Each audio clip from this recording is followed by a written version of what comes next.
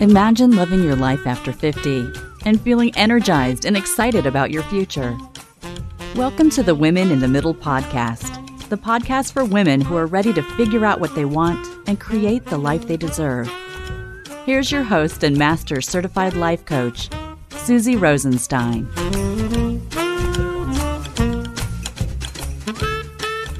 Hey there, welcome back to the podcast Women in the Middle. I'm your host, Suzy Rosenstein, your master certified coach and midlife mentor, and I am so glad to be here with you again for this week's episode where we are talking about everyone's favorite emotion, envy, and specifically why being green with envy can be a very good thing. I remember clearly when I had this insight into the way to use this emotion for good, and I can't wait to tell you all about it. I know you'll have an aha moment or two. okay, a couple of things before we get started. First, I want to thank you for being here. Like, seriously, I really mean it. I keep getting on the phone with women who book a free call about working together. And when I get on, they have a little fangirl moment. It is so cute. It's so adorable. They know all my little stupid stories. They know about my dog, Nico. They know all of it. And I know nothing about them. It is just so crazy and so much fun. One woman this week told me that I have been driving around with her for weeks as she binged the podcast, that we've been all over the place together to the grocery store, to the hardware store, just running errands. It's been so much fun to think that we are connecting this way. It just warms my heart. I just love it that it's technology like this that has brought us together. If you would have asked me 10 years ago how likely I would have been to have so many people listening to the podcast that I made with my own little hands, voice, and brain, I would have asked you what a podcast was and thought you were crazy. 10 years ago, I was stuck in my long term job wondering what I should do, whining to all my friends about how miserable I was, and being so conflicted about how I could possibly move on when I had such amazing dental coverage and how my job was really so good and my benefits were awesome. I had such fear and limiting beliefs. I had no ability to dream. My creativity felt squelched and I felt so downtrodden. Now, don't get me wrong, I had a great life. I had a good job. I had good vacations, amazing husband and kids, and the cutest dog and bird ever. but how I thought and felt was another story. When you're stuck, it's very hard to see your way out for lots of reasons, and we'll touch on this in today's show. I really couldn't see my way forward, and I was scared for reasons I didn't even understand. That's a midlife funk for you. That's also why I want to make a request that you share this podcast. Please help other funky women in the middle who are just waiting to find a little something like this podcast that can really help them shift their mindset towards being happier and more excited about their lives. Think of referring the Women in the Middle podcast as helping them take the first step. And when you're stuck, a baby step is a big deal. You may have to show them how to listen on their phone too, as they may not realize that they have a podcast app already on their phone ready to go. I really appreciate your help in getting the word out there too, because when you're stuck, the Women in the Middle podcast is there for you. I'm there for you. I would really, really appreciate that. Okay, so now I want to talk to you a little bit about the 50 Unplugged Mastermind, which is the number one way to work together to help you focus on what you can do with your next chapter instead of what you like to think about, which is what you can't do. 50 Unplugged is for women who are making a serious commitment to themselves. They're ready to do work on creating a big personal transformation over the course of a year. They know it's a priority and they're finally ready to put themselves first and dive in because they also know that they will regret it if they don't. 50 Unplugged is all about becoming bold and brave in midlife so that you become who you need to be to go after your priorities in life. It's all about up leveling so that you know in your heart of hearts that you stopped playing small. It's about getting out of your own way so that you're more comfortable and intentional about allowing yourself to be happier. It's about taking control of your life instead of letting a few more years or decades fly by without you being intentional. It's about finally putting yourself first so that you get the support you need to learn what you want and need, and more importantly, know exactly how to make it happen. There are retreats involved too, and so far they've been in Toronto and Palm Springs, and they have been amazing. It sounds pretty good, right? head over to www.talktosuzy.com and learn more. You can grab your Kickstart call and we'll talk about if it's a good fit for you. I also want to let you know that the mastermind and private coaching prices are going up soon. So make sure to book your call now if you were thinking of working with me this way. All right, let's dive in. I think being green with envy can be a very good thing. I really, really do. So let me tell you how I started to figure this all out. It was over a decade ago, maybe 12 or 13 years or so. I was doing a needlepoint project. I was making keepsake bags for my kids' bar mitzvahs. One custom in our community is for these bags to be made by needlepoint. Now, sometimes the special bag is the type of thing that might be inherited or passed down, and sometimes a mom or often a grandmother makes it. Now, I love this idea that I would be making a beautiful handmade keepsake for each of my three sons. To be sure, the boys don't care about these handmade bags made with love like we do, but the women who make them care deeply, and so we toil away for months and months until they're finished, assembled, and lined and customized with the child's name and birth date. Now, they don't all have to be made. Some people just purchase them, and they certainly don't have to be needlepoint. And I know if you're not familiar with this, you're thinking, come on, a 13 year old boy is going to carry around something that looks like their grandmother's couch pillow?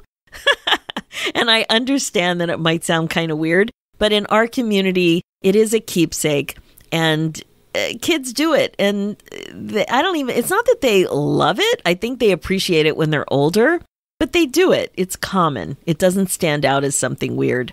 So in my case i always loved the look of needlepoint like i said so off i went to the needlepoint store Yes, there is such a thing as a needlepoint store. I live in a big city and we have such a thing. Who knew, right? that is, of course, unless you're familiar with a yarn store or any kind of a textile related craft, then you might be in the know. I was, however, going into very unfamiliar territory because I didn't know how to needlepoint and I'd never done anything like this. But this particular needlepoint store was fairly large and had everything that I was looking for and more, really. My head exploded when I walked in, kind of like when you walk into Michael's, right? When you're kind of crafty, you get all excited. There were beautiful colored threads and patterns hand painted on canvases everywhere. It was kind of like wallpaper, the way it was all over the walls. I could not believe what I was seeing. I had no idea. It was a cornucopia of delight for the eyes. But wait, there was more. At the back of the store, I saw a little gaggle of ladies gathered around a raised table studying, like looking over, looking closely, carefully studying. What was going on over there, I wondered. The owner of the store was answering their questions and teaching them how to add delicate beads to their needle pointed designs. I couldn't believe it. I didn't know there was such a demand for craftsmanship with needlepoint. I didn't know there was such a demand about needlepoint for people to learn. But it makes sense. If you have this interest and you don't have grandmother or your mom or somebody there to teach you, where do you go to learn stuff? You can go on YouTube. But this was way better to be with other women and real experts in the area. You know, so I, I really didn't know what was going on here, but there I was standing in a rare, uh, like a rather large specialty store with a bunch of happy women learning stuff. I, was so excited. I waited my turn for help, and then I picked the canvas and I picked my threads and I got all set up with my project.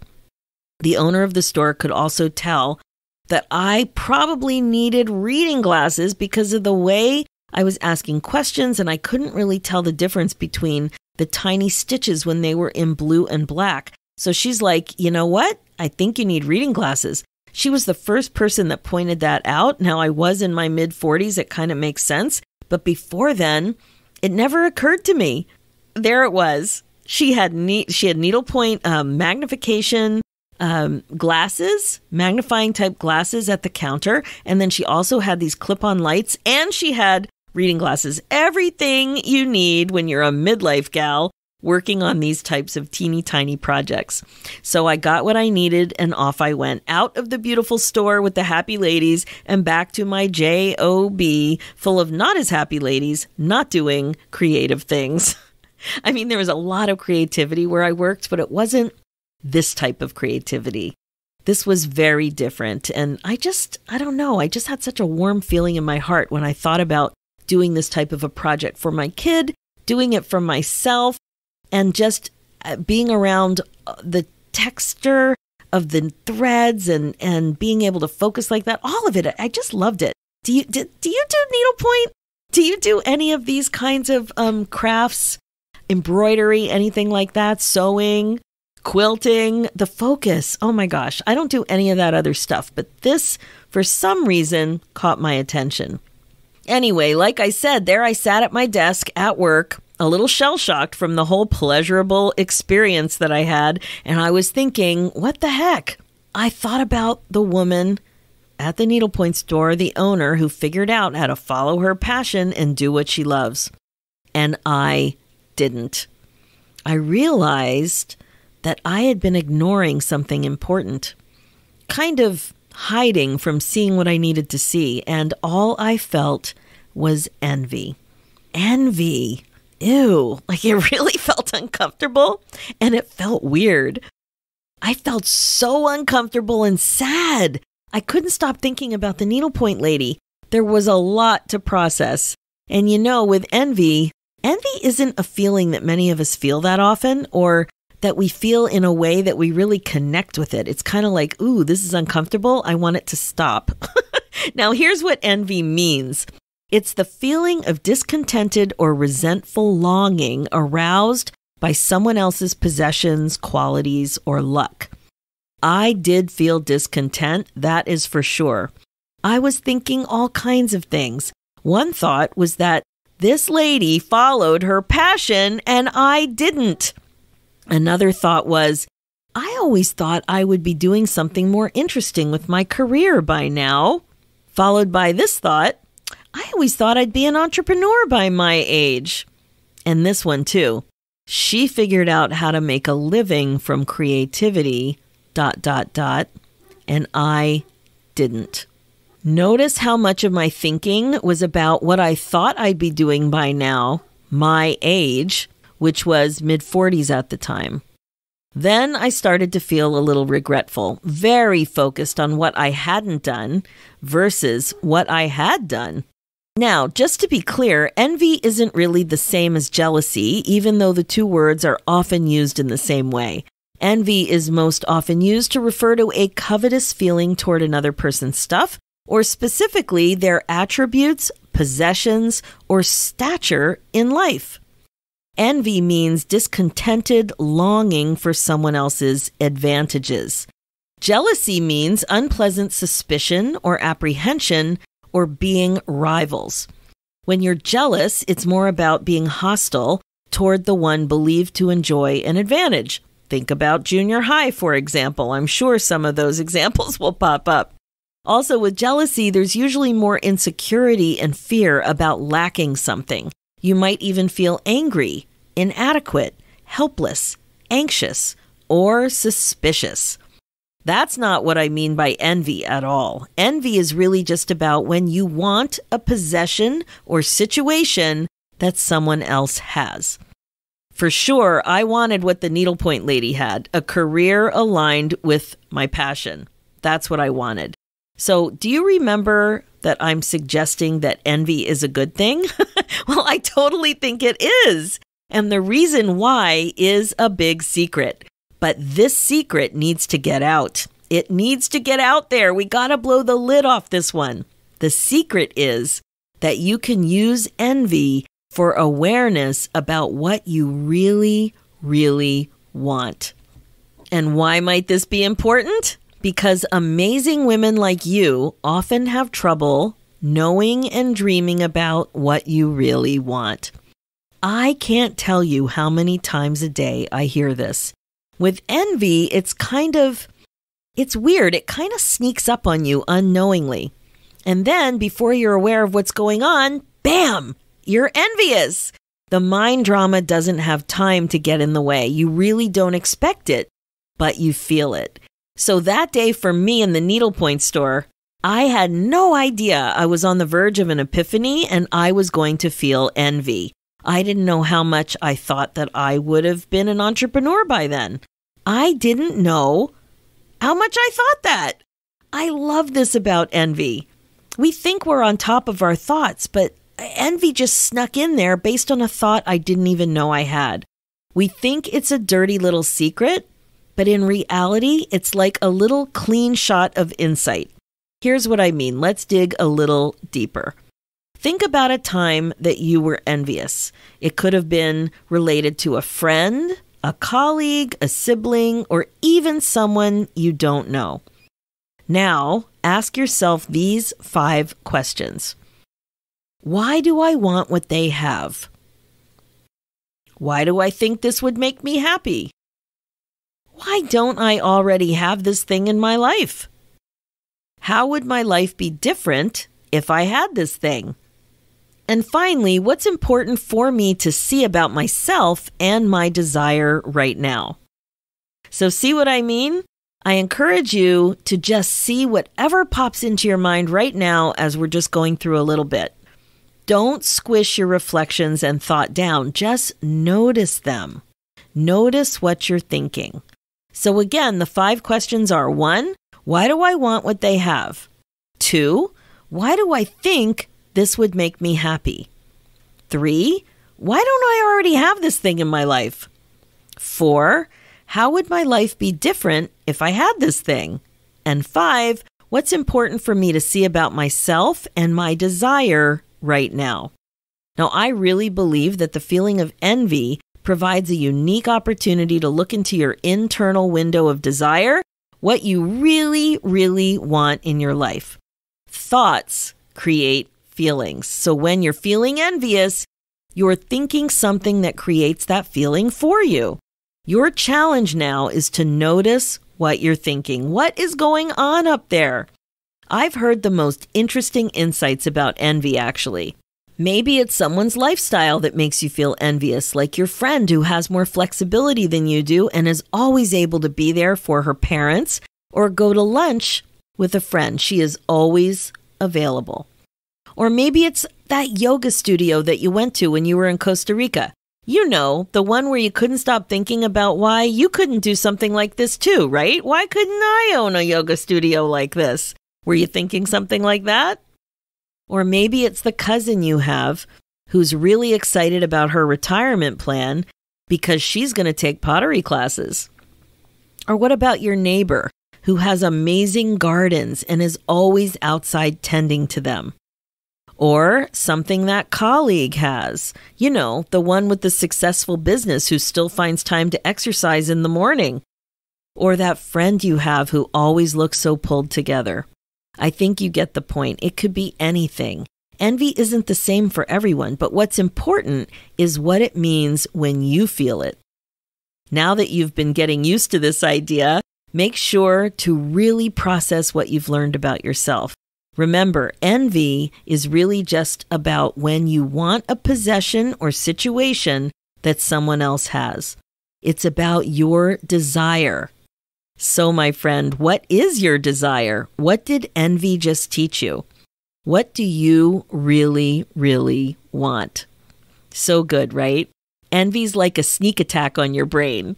Now, ask yourself these five questions to see what you can learn about what you really, really want. What is envy saying to you?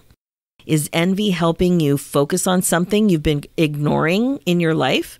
This is really what happened to me. I wanted to be an entrepreneur more than I knew. What about you? Is envy inspiring you about what's possible?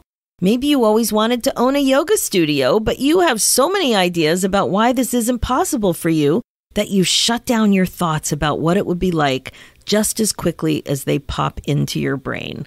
It doesn't mean, like with the Costa Rica example, it doesn't mean that you want to do it in Costa Rica. You might, but maybe you didn't even know that you wanted to do it until that situation. Is envy helping you shift or change? Maybe that woman who you always see running, even in the rain, maybe she's driving you crazy.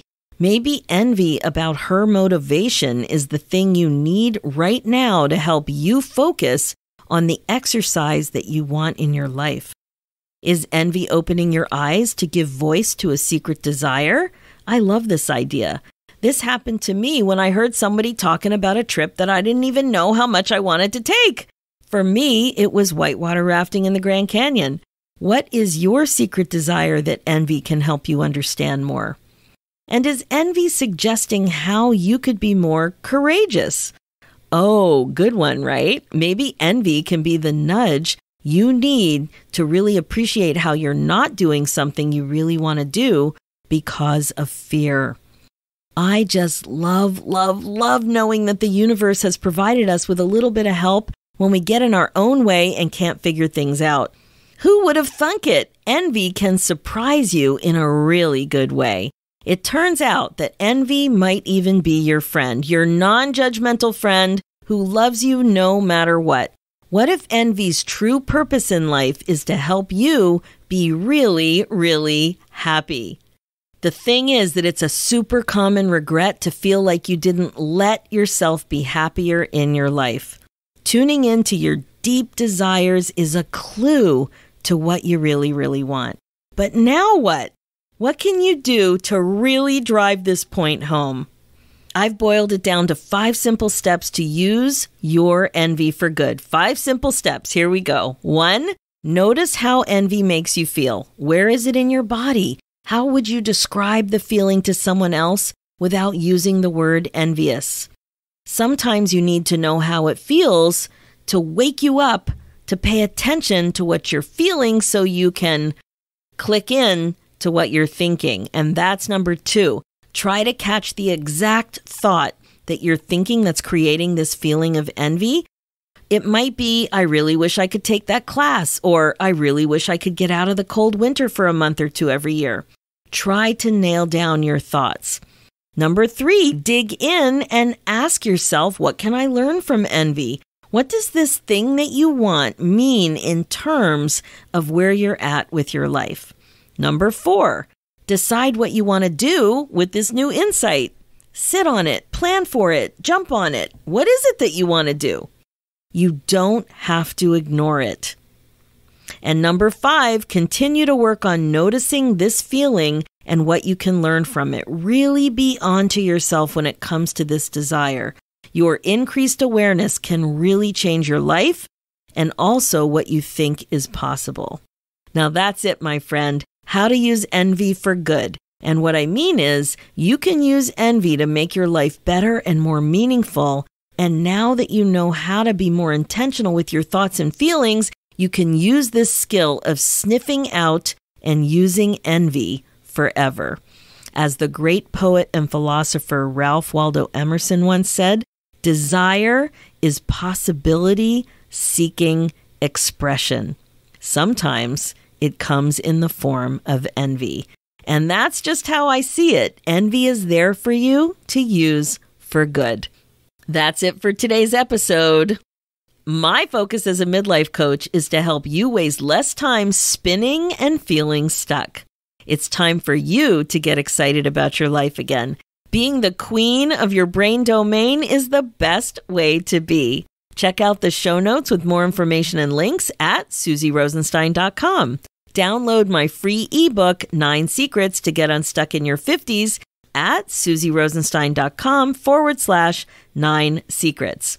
And if you're ready to finally put yourself first, become a first lady. Join my new midlife membership, Finally First. This is an upbeat virtual community for midlife women who want clarity, courage, and connection to make the changes they want in their next chapter. Sign up for the VIP waitlist now because the doors will open again soon and you'll be ready to go. Head over to www.iamfinallyfirst.com. Let's do this, ladies. Let's do it together, one thought at a time. Thanks so much for listening, and I will talk to you next week.